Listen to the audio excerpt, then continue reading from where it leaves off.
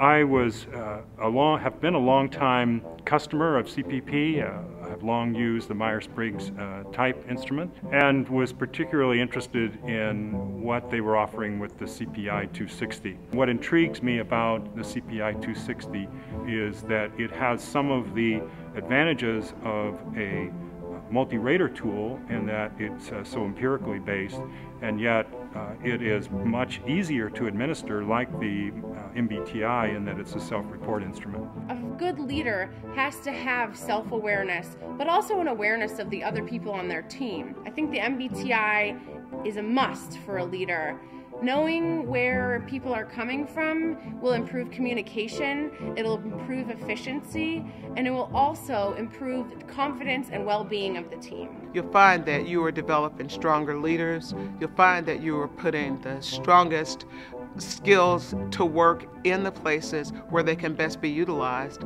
And you'll find that you have a better option at professional development. I think we generally know ourselves pretty well, um, but what the MBTI is really good at is showing you how people who aren't like you think. I know how I work and I know what I like but what the MBTI gave me was a view from the other side. The value of this instrument is helping you to understand yourself, helping you to understand your people, helping you to make the best possible use of the most valuable resource that any agency or company has, and that is its people.